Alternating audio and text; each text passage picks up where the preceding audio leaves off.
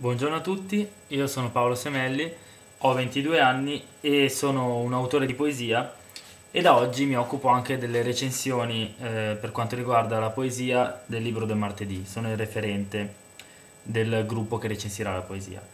Eh, oggi iniziamo con le recensioni e come prima recensione mi dedicherò al libro di Davide Maselli, Caos di cose a caso. Mi rendo conto che voi lo vedrete al contrario, però purtroppo non mi sono ancora attrezzato a dovere per fare dei video e quindi per oggi andrà così. Comunque il libro è edito da Rupe Mutevole, eh, il prezzo di copertina è di 10 euro e il libro ha 48 pagine se non sbaglio, no 43. Eh, dunque eh, cominciamo subito col parlare della struttura di questo libro e eh, dico subito che il libro è diviso in tre aree, in tre macrostrutture e macro è dire, dire, troppo visto che il libro è brevissimo però eh, diciamo che sono tre, tre differenti sezioni molto diverse tra loro la prima sezione ha un titolo e si intitola nella tela di ragno, vabbè io lo faccio vedere lo stesso, si vedrà al contrario, purtroppo per oggi va così. E la prima sezione è nella tela di ragno. Eh, dunque, eh, vabbè, nomino già le tre sezioni. Eh, la seconda sezione è composta da una sorta di poemetto teatrale eh, che è La Vergine discisa e la terza sezione è quella della poesia vera e propria eh, e si intitola appunto Poesia. Eh, per iniziare io leggerei eh, la frase che l'autore mette all'inizio del libro, penso che questa sarà una, una, cosa che farò per ogni libro che recensirò, e ehm, Davide, Davide Maselli, all'inizio del libro fa una sorta di dedica e dice forse scrivo questo perché ho bisogno di essere una persona migliore, ma non trovo ancora l'intenzione. I fiori del male insegnano a coltivare profumi di orti sconosciuti vedete come già ehm, appare ben definita eh, una sorta di eh, mh, caratteristica di Davide che è quella dell'introspezione verso se stesso che è una caratteristica un po' di tutti i poeti. Ma eh, a questo Davide abbina eh, certamente una certa passione per l'esoterismo e eh, per il, mm, per il mondo dell'introspezione anche all'interno della realtà. Ehm, dunque, la prima parte è sicuramente influenzata, eh, o almeno lo stile è quello, dal libro dell'inquietudine di Bernardo Soares o Fernando Pessoa. Infatti possiamo vedere come eh, le varie parti siano in prosa, eh, siano più aforismi che, che, in realtà dei brani e siano divise da delle greche che servono, fungono solo da divisore tra una, una frase e l'altra. E ehm, perché si chiama la prima parte nella tela di ragno? Beh, io eh, è una mia interpretazione chiaramente. Penso che si tratti di una sorta di trappola che eh, l'autore fa nei confronti del lettore, eh, portando, sballottando da una parte all'altra il lettore eh, nelle proprie divagazioni. Eh, io, per spiegare quello che sto dicendo ora, leggerei un pezzettino che eh, lascia bene intendere qual è l'intento dell'autore con questi, con questi brani. Penso di non sentire qualcosa. Mi manca una parte di questa vita. Non sento il mio pensiero. Se mi provo di sentirlo, non lo sento. Non sono il mio pensiero, oppure semplicemente non lo sento, come facoltà possibile tra le molte. Oppure ancora, se sono il mio pensiero, allora non esisto. In questi momenti forse davvero riesco a non esistere, ma io non lo so. Cosa sono quando forse non sono? Potrei essere quella parte della vita che non sento, che sarebbe, saremmo, il mio pensiero. Mio? Non credo si tratti del mio, seppure pensiero, è troppo stupido. Sembra che anche questo manchi a sua volta di qualcosa. Non solo io, che non lo sento nel non sentirlo e mi sforzo di sentirlo nel non sentirlo che non sento. Manco di una qualche dimensione del sentire, io.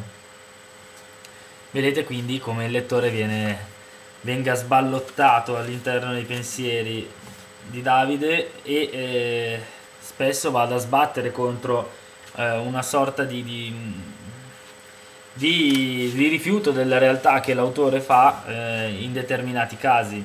questo vorrei sottolinearlo, c'è un rifiuto della realtà o come minimo c'è una voglia di non appartenere a una realtà.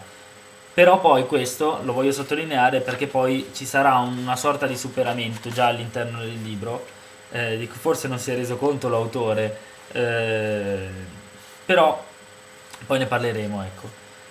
Della seconda parte, il poemetto della Vergine discesa, non vorrei dire molto e sicuramente non leggerò il poemetto perché voglio che, eh, voglio che siano i lettori a incuriosirsi e andare a leggere qualcosa che di sicuro io non avevo mai letto. È una cosa molto particolare, è molto breve, eh, sono, sono veramente poche righe, però vale la pena interiorizzarle, secondo me, anche perché a, a prima lettura eh, è quasi sconvolgente. Poi eh, a una seconda lettura eh, è un po' terrificante e a una terza lettura in realtà inizia, inizia a entrare nel lettore. Quindi io vi consiglio, non lo leggerei, vi dico solo che è diviso in, in sei parti o io li definirei quasi sei atti teatrali eh, beh ma molto brevi, una paginetta per, per atto, vedete, per parte e eh, quindi è di facile lettura. Io passerei subito alla terza parte che è quella dedicata alla poesia, che poi è quello che, eh, che io ho prediletto di questo libro insieme alla prima. Ehm, diciamo che eh, nelle mie recensioni non andrò mai troppo a fondo sulla struttura delle poesie per farne una critica tecnica perché non penso di avere gli strumenti per farlo eh, e penso di aver letto troppa poca poesia nella mia vita eh, di 22enne per poterne giudicare a livello tecnico alcuna. Però devo dire che qui eh, beh, posso dirvi subito che non ci sono rime, che la struttura è libera, che le varie poesie eh, tra loro mh, mm, c'entrano poco a livello strutturale, quindi non abbiamo eh, una struttura che si ripete eh, e non abbiamo nemmeno una tematica che si ripeta, nemmeno un linguaggio. Eh, questo probabilmente si deve al fatto che la poesia è stata scritta in periodi differenti. Io eh, so di Davide che questo libro l'ho scritto all'incirca ai 18 anni, quindi è un libro di un ragazzo di 18 anni che probabilmente sta attraversando un periodo un po' strano della sua vita e, ehm, e quindi niente, non abbiamo una ricorsività all'interno della poesia, però Devo dire che a me è piaciuta molto. È una poesia mm, quasi primordiale, la definirei. Nel senso che l'autore non è stato a, molto a lavorare di lima, ecco. Ehm, è un libro molto impulsivo. Questo è quello che, che è apparso a me. Eh, infatti, Caos di cose a caso. Eh, penso che si rifaccia questo il titolo, al fatto che lui aveva bisogno di, eh, di scrivere determinate cose eh, e aveva bisogno di un caos. Questo c'è anche all'interno della poesia, poesia che però riesce comunque a essere bella. Eh, non si può definire questa una brutta poesia perché non è una poesia molto elaborata. A me è piaciuta molto e ne vorrei leggere una per essere chiaro su questo e anche per, parlare, per tornare al superamento del rifiuto della realtà eh, che a me ha colpito molto, quasi commosso. Il deserto si staglia ancora vasto davanti ai miei occhi. Mai ho cercato qualcosa fuori di me, fin quando ti ho vista. La mia vita ha provato a nasconderti per troppo tempo. Ora sei sgorgata dal mio cuore e ancora non ti ho conosciuta. Il tuo cuore si occupa d'altro, la roccia protegge i deboli. Il deserto si staglia ancora vasto davanti ai miei occhi. Camminare, camminare, fin là dove tutto cessa. La roccia non ha più modo di esistere nel deserto, si frantuma e si disperde tra i resti di altre gabbie, finché la luce risplende del mattino celeste. Beh, non mi, non mi soffermerò sul commento di questa poesia, a me è piaciuta veramente tanto e questo in generale è un libro che io consiglio e lo consiglio per due motivi.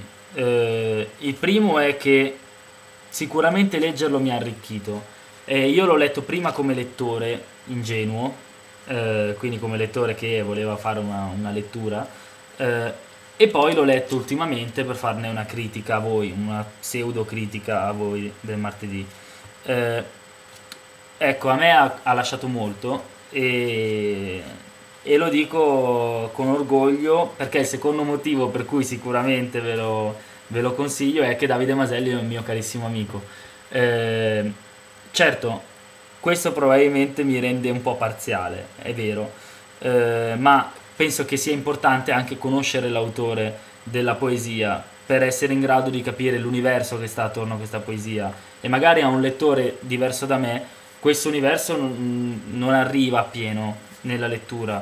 Però vi assicuro che eh, c'è tanto da imparare anche da un ragazzo che ha scritto a 18 anni. Adesso lui è anche più grande di me però eh, è veramente sorprendente a me ha arricchito molto quindi lo consiglio a tutti voi e poi concludo dice, facendo gli auguri a Davide perché eh, si sta laureando e a giorni la sua laurea. Davide è un collega, quindi si sta laureando in psicologia.